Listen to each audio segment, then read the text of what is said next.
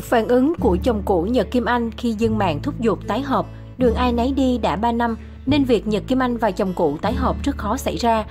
Bị Nhật Kim Anh tố không cho gần gũi con, Bủ Lộc không có động thái thanh minh cho bản thân. Thay vào đó anh vui vẻ đăng ảnh đưa con trai đi cắt tóc. Ngày mưa, anh em túc lại vẻ đẹp trai tí xíu, chuẩn bị đón Tết đoan ngọ, chồng cũ Nhật Kim Anh viết. Chồng cũ Nhật Kim Anh đưa con trai đi cắt tóc, bên cạnh những lời khen ngợi về đáng yêu của bé Tin. Nhiều dân mạng bày tỏ mong muốn Bủ Lộc và Nhật Kim Anh sớm tái hợp, hai anh chị đẹp đôi mà sao không nắm tay đi cuối con đường. Để cho bé Tin có cả mẹ lẫn cha, dù đẹp, dù giàu sang hay như thế nào đi nữa thì gia đình tan vỡ, người tổn thương nhất là con. Sao hai em không vì con mà chấp nhận sống với nhau để con có đầy đủ ba mẹ, đừng để con sống xa mẹ tội lắm. Mong gia đình sẽ sớm đoàn tụ và hạnh phúc. Nhưng Bủ Lộc chỉ thả trạng thái cảm xúc buồn mà không trả lời ai.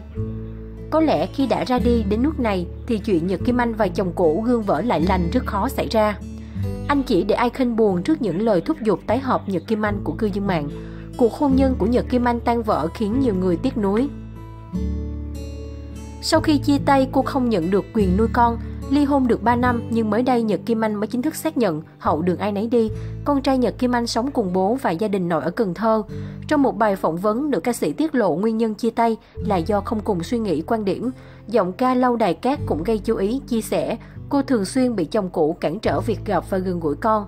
Anh Lộc không muốn cho tôi gần gũi con mình nữa. Những ngày khai giảng hay bế giảng của con trai, tôi cũng đều không được biết. Thậm chí tên của tôi cũng không được đăng ký tại trường học để có thể đưa đón con đi học. Chỉ khi có mặt của ông bà nội hoặc anh Lộc đi cùng, tôi mới được phép đón con. Đến cả hè, tôi muốn đưa con lên Sài Gòn để đi đây đi đó hay về thăm ngoại chỉ một lát. Anh cũng không đồng ý. Tôi vô cùng khổ tâm. Nhiều lúc tôi thấy mình còn bất hạnh hơn cả những người phụ nữ khác. Khi ngay cả những quyền cơ bản của một người mẹ tôi cũng không thể có. Nhật Kim Anh còn tiết lộ chồng cũ ngăn cản cô gặp và gần gũi con trai.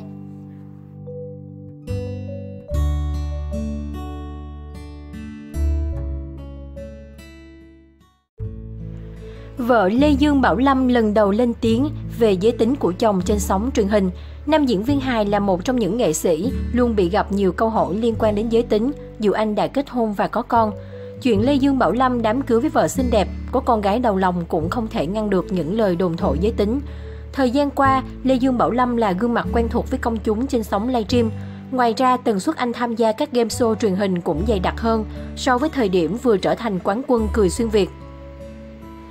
Ngoài các vấn đề liên quan đến cách giao tiếp khi livestream quảng cáo, lối diễn xuất thì anh còn khiến mọi người quan tâm đặc biệt đến chuyện giới tính.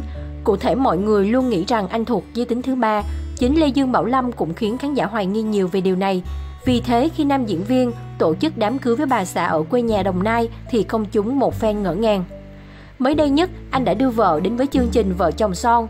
Đây là một game show khá thú vị, nơi chia sẻ những góc khúc hôn nhân mà hiếm khi nào khán giả biết đến. Lê Dương Bảo Lâm đã kể lại lúc mình cua bà xã và đối phương cũng lần đầu tiết lộ cô không có ấn tượng, thậm chí ghét ngay từ lần đầu thấy anh. Quỳnh Anh kể, ảnh chảnh chọe lắm nhìn ảnh như thằng khùng đó, dẫu vậy cô biết thân biết phận và nghĩ rằng mình không có cơ hội để hẹn hò với anh. Chẳng ai ngờ rằng chỉ một thời gian sau, Lê Dương Bảo Lâm xin số điện thoại và cả hai cùng tìm hiểu. Ngay lúc này, MC Hồng Vân và Quốc Thuận đã đề cập tới những lời đồn về giới tính của chồng. Quỳnh Anh cũng bộc bạch có nhiều người nói với mình rằng mày quen với thằng đó BD, nó không có cưới mày đâu, nhưng cô khẳng định ảnh men lắm, tụi nó chắc ghen tị với em. Sau khi kết hôn, hai vợ chồng nhanh chóng đón được thiên thần đầu lòng là một cô công chúa đáng yêu. Cưới vợ sinh con, Lê Dương Bảo Lâm càng ý thức hơn về trách nhiệm và phải cố gắng làm việc để cả nhà có được nơi ở ổn định. Tết vừa qua, cặp đôi đã dọn về căn nhà biệt thự 7 tỷ đồng khiến mọi người suýt xoa. Dù có rất nhiều lời bịa đặt nghi ngờ về giới tính, nhưng Lê Dương Bảo Lâm cảm thấy yên lòng vì bà xã tin tưởng mình. Giờ đây, Quỳnh Anh còn là hậu phương vững chắc trong công việc của nam diễn viên.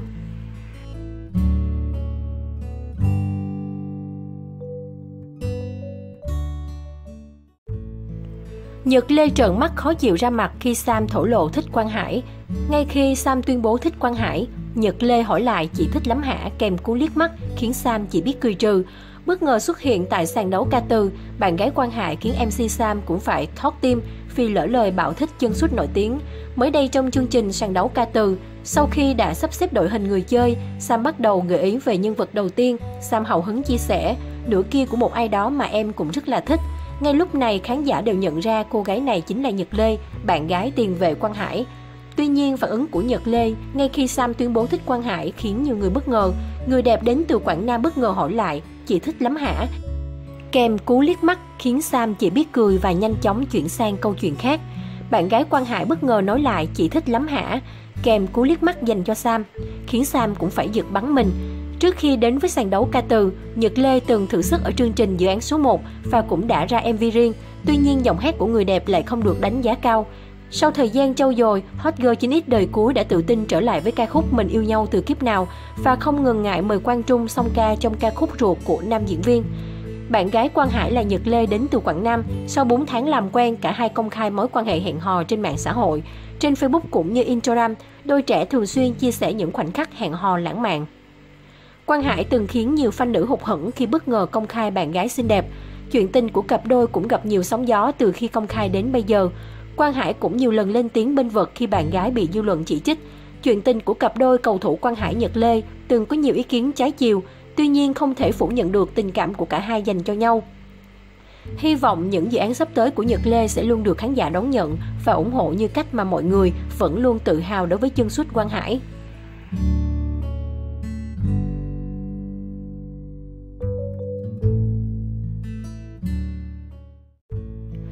Khoe ảnh em trai ruột, Miyu khiến dân mạng bấn loạn vì nhan sắc hai chị em. Miyu nhận bảo bình luận từ fan nữ khi cho em trai lên sóng sau nhiều năm, cộng đồng mạng nhận xét bất ngờ.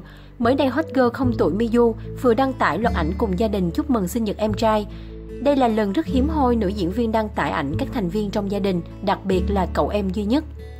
Hai chị em được nhận xét giống nhau đến từng đường nét, Vốn kính tiếng về đời tư, Miyu chỉ dùng mạng xã hội chủ yếu vào công việc hay đăng tải hình ảnh về bản thân. Cô tuyệt nhiên không muốn nhắc đến chuyện tình cảm hay cuộc sống cá nhân. Tuy nhiên, chỉ với những dịp đặc biệt của các thành viên trong gia đình, người đẹp mới phá lệ đăng ảnh công khai. Trên Facebook cá nhân, Hot Girl sinh năm 1989 chia sẻ, Happy birthday em trai cưng, nhà không có gì ngoài hai chị em hiền queo như nhau. Kèm theo ảnh selfie cùng em trai được dân mạng nhận xét giống nhau như hai giọt nước. Em trai Miyu cũng rất giản dị và thường chỉ xuất hiện ở những sự kiện quan trọng của chị để tránh gây chú ý. Cả gia đình đều được nhận xét có khuôn mặt phúc hậu, bố mẹ Miyu còn khá trẻ. Không chỉ khiến công chúng ngưỡng mộ về thành tích học tập nhan sắc, Miyu còn được biết đến là một nữ diễn viên nhà thiết kế thời trang, giảng viên đại học có sự nghiệp vững chắc ở tuổi 30. Sau chuyện tình cảm khép lại với thiếu gia tức tiếng Sai Thành, người đẹp dành toàn thời gian phát triển kinh doanh và hướng tới hình ảnh người phụ nữ hiện đại, tự gây dựng sự nghiệp. Tuy nhiên ít ai biết rằng cậu em trai sinh năm 1995 của Miyu cũng tài giỏi không thua kém chị. Em trai Miyu tên là Đặng Trung Hiếu, anh chàng có vẻ ngoài thư sinh và nhiều đường nét rất giống chị gái. Thời còn học phổ thông, Trung Hiếu cũng theo học trường của chị gái. Nhưng khi bắt đầu vào đại học, em trai Miyu chính là một trong suốt những sinh viên nhận học bổng của trường, với điểm thi đầu vào đạt đến 90,80%. Cả hai chị em đều có năng khiếu liên quan đến hội họa và thiết kế và đều có sự nghiệp ổn định. Sự thật anh chàng đã có bạn gái khiến fan nữ nuối tiếc. Từng khoe ảnh chụp cùng em trai cách đây 6 năm trước, vì vậy dậy thì thành công của Trung Hiếu dễ dàng khiến dân mạng quan tâm. Nhiều fan nữ hào hứng ngỏ lời trở thành em dâu Miu. Tuy nhiên, theo nhiều bình luận, anh chàng đã có bạn gái và cô gái này cũng xuất hiện trong bữa tiệc thân mật gia đình mình. Dù bận rộn đến mấy, nữ diễn viên vẫn cố gắng có mặt đón tuổi mới cùng em trai. Hai chị em vẫn không có nhiều thay đổi so với thời mới công khai danh tính em trai. Con đường nghệ thuật luôn nói không với thị phi và chiêu trò, cộng với cuộc sống gia đình hạnh phúc đáng ngưỡng mộ, Miyu là một trong số các người đẹp đi lên từ danh hiệu hot girl nhưng vẫn giữ được tình cảm của khán giả sau hàng chục năm hoạt động. Hiện tại, tập trung nhiều vào công việc thiết kế và giảng dạy, công chúng vẫn nhớ đến Miyu qua những vai diễn phim truyền hình và luôn dành sự quan tâm ở mỗi sự kiện cô xuất hiện.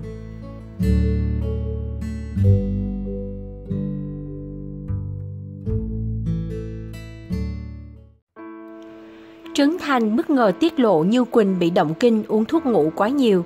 Nam MC gây bất ngờ khi chia sẻ về tình trạng sức khỏe của Như Quỳnh khi đang giao lưu với fan. Trang cá nhân của MC Trấn Thành có hơn 11 triệu thành viên theo dõi. Đây là nơi anh hay livestream giao lưu với khán giả mỗi khi rảnh rỗi. Trong đoạn clip mới nhất, Trấn Thành được fan yêu cầu hát một ca khúc, song anh từ chối khéo vì đang làm tóc tại một salon, sợ ảnh hưởng đến mọi người xung quanh. Ngay sau đó, ông xã Harry Won bất ngờ nhắc về Như Quỳnh và dành nhiều lời khen ngợi đến giọng ca duyên phận. Anh kể, Tôi mới xem chương trình ca nhạc mới Như Quỳnh hát hay quá, nhất là ca khúc mới song ca cùng Quang Dũng. Như Quỳnh sao đẹp hoài và hát hay quá vậy trời. ai fan chị Như là bạn tôi đó vì tôi là fan Như Quỳnh đây. Trấn Thành cũng lên tiếng bên vực đàn chị. Khi thời gian gần đây có nhiều ý kiến cho rằng giọng hát của Như Quỳnh đã không còn phong độ như trước do tuổi tác. Có một số lần Như Quỳnh hát live gặp vấn đề là do dạo này nữ ca sĩ bị chứng mất ngủ, uống thuốc ngủ quá nhiều nên thanh quản không tốt. Mỗi lần bị stress tụt canxi là chị Quỳnh lại bị giật động kinh, phải sử dụng thuốc ngủ nhiều nên tội nghiệp chị lắm. Khi chị Như Quỳnh được nghỉ ngơi đầy đủ thì chị hát xuất sắc. Tôi đã qua gặp chị ở Mỹ rồi. Chị ấy hát live nói thật chứ âm thanh hay khủng khiếp, âm thanh bắn ra đẹp châu chuốt. Ai nói Như Quỳnh hát dở không còn hay nữa là dẹp cái tư tưởng đó đi nha. Hát rất hay luôn, chỉ có vấn đề là lâu lâu chị điều trị bệnh hay phải bay đi bay lại nhiều dẫn đến mất ngủ. Phải ai bị mất ngủ mới biết thương chị ấy, Trấn Thành thấy tội chị Như Quỳnh lắm luôn. Có dịp gặp Như Quỳnh nhiều lần khi đi lưu diễn, Trấn Thành nhận xét nữ ca sĩ, bề ngoài dễ thương duyên dáng hiền lành, mặt bà ấy như con búp bê, nhìn mặt bà ấy cưng liền luôn à, nam MC hài hước. Trao đổi với chúng tôi, trợ lý của nữ ca sĩ Như Quỳnh cho biết hiện sức khỏe của nữ ca sĩ ổn định, không gặp vấn đề. Chị đã khỏe lại rất nhiều, người này chia sẻ ngắn gọn và từ chối trả lời thêm. Trước đó Như Quỳnh từng chia sẻ với báo giới về chứng bệnh mất ngủ kéo dài suốt 20 năm qua.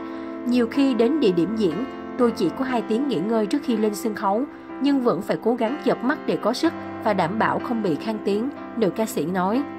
Về chứng bệnh động kinh, em trai của Như Quỳnh cũng tiết lộ, cách đây khoảng 8-9 năm, chị Quỳnh bị kiệt sức vì quá chú tâm vào công việc. Có mấy lần ra sân bay để đi lưu diễn, chị tôi ngất rồi bị chuyển vào bệnh viện cấp cứu. Bác sĩ chẩn đoán là bị động kinh. Thực ra bệnh này chị tôi mắc từ nhỏ, nhưng vì cuộc sống quá căng thẳng nên mới dẫn đến tình trạng như vậy. Tôi và gia đình cũng đã có lúc muốn chị nghỉ ngơi, khi nào khỏe hẳn rồi mới đi hát kiếm tiền. Nhưng chị tôi một mực không muốn, như Quỳnh bảo, trời sinh ra để chị làm một công việc duy nhất là ca hát, dù bệnh thế nào cũng phải đi. Dù giọng hát bị ảnh hưởng do sức khỏe không tốt, nhưng đa số khán giả đều cho biết họ chẳng quan trọng vấn đề đó, mà chỉ cần nhìn thấy Như Quỳnh đứng trên sân khấu là đủ. Dù hát giọng có nặng hơn, đầm hơn, dù có hơi mập hơn, ngoại hình không còn như tuổi đôi mươi, hay dù có quên lời sai lời sao cũng được, miễn là còn nhìn thấy Như Quỳnh đứng trên sân khấu, ngân nga vài câu hát là đã thấy hạnh phúc lắm rồi. Giọng hát ấy gắn liền với một mảng trời tuổi thơ, là giọng hát ngày còn bé thơ, nghe ba mẹ âm mỹ, là giọng hát làm nguôi ngoai bao nỗi buồn, là mối tình đầu tan vỡ và đi theo mình tới khi trưởng thành. Mình đã lớn và người con gái năm ấy đã có tuổi, nhưng không sao hết, được ngắm nhìn một huyền thoại sống ngâm nga, yểu điệu trên sân khấu là mãn nguyện lắm rồi, một khán giả để lại lời bình luận.